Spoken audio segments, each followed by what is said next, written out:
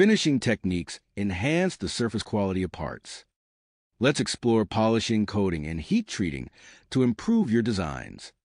Finishing techniques refine a part surface, removing imperfections and improving its appearance, durability, and functionality. Polishing smooths the surface, giving a shiny, reflective finish. It's commonly used for aesthetic purposes and to reduce friction in mechanical parts. Coating, such as painting or electroplating, adds a protective layer that prevents corrosion and enhances the part's lifespan.